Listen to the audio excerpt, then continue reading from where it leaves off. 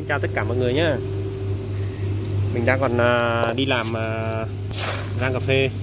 Tại trường, một trường của mình trên cư Mường Nga Đắk lắc ấy. Thì à, đổ cái bao cà này ra, mình review sơ qua cho các bạn thấy cái cà phê Culi Robusta, hàng cuối vụ. Bên mình còn số lượng còn ít. Cái này giá bữa nay nó tầm khoảng loanh quanh mức 50 á. 50 nghìn một ký. ấy này là trên sàn 18 hết nhé hàng rất là đẹp.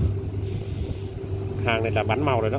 Nhưng mà lâu lâu nó vẫn có mấy hạt đen đen nâu nâu này, này. hạt này là hạt nâu thôi chứ không phải đen.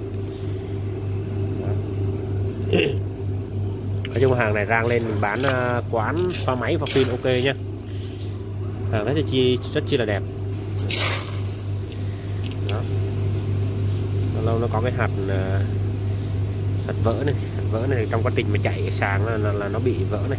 Nhưng mà cái này chắc không có nhiều đâu nó lâu lâu nó mới có thôi. Không sao không ảnh hưởng đến chất lượng hết. Còn về tạp cành que hay là đá hay là à, vật thể lạ là không có đâu nha. Rất là sạch. Hàng này gọi là cu ly bắn màu nhé đó. Hàng robusta vùng cư nga đắk lắc chất lượng uh, cà phê cư nga đắk lắc thì uh, rất là nổi tiếng rồi rất chi là nổi tiếng. Cho nên là mọi người mua cái hàng này về rang ấy, à, rất là yên tâm về chất lượng. Độ ẩm của cà phê này là nó tầm khoảng à, bữa nay nó tầm khoảng 12 à, phần trăm thôi. 12 phần trăm. Đó cà này rang rang ra thì à, chạy ra thành phẩm thì bán à, cà phê rang nó tầm khoảng à, 120.000 hoặc 130.000 tùy vào nhà rang hao hụt mức rang là nó tầm khoảng à, tầm à, rơi vào tầm khoảng 18 đến 20 phần trăm.